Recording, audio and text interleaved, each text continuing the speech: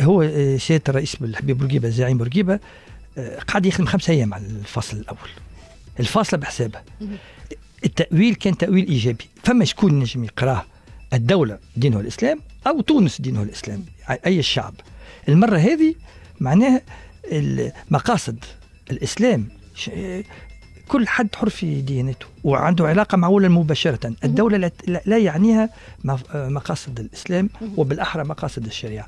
إحنا مشكلتنا اليوم هذا الدستور كاتبه عبد واحد بمفرده صلحه وحده خدم قرابة الخمسين آه، مرأة وراجل حط المقترح نتاعهم في الرف وحنا قلنا لهم وفما منهم عندنا أصدقاء فيهم في اللجنة الاستشارية. نحن في اللجنة الاستشارية قلنا لهم ربي يهديكم راكم قاعدين تخدموا على بلاط راهو مش مشيش حتى شيء.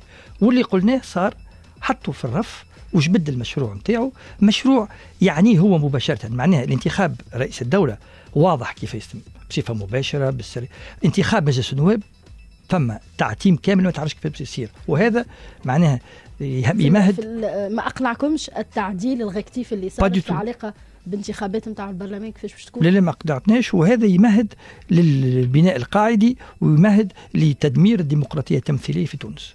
إحنا اليوم بخلاصة إحنا نفضلوا ديمقراطية هشة مهزوزة ولكن تنجم تتحسن على ديكتاتورية واستبداد مثالي. ويا توانسة راكم قاعدين تشريوا في كثر قاعدين تشريوا باش تصوتوا على قطوش في شكارة وراو اللي جاي ربي يستر منه. راح اليوم نقول لكم راهو الوضع الاقتصادي اللي ذريعة كان من الذرائع اللي تقدمها سي قيس سعيد قاعد يدهر وماشي باش يدهر وراهو الإملاءات اللي باش يفرضها علينا صندوق النقد الدولي باش تكون كريهه كريهة بأتم الكلمة. وحنا قبلنا الجمهورية التونسية قبلت بالإملاءات كلها وراو اللي جاي راهو شيء ما تنجمش تصوروه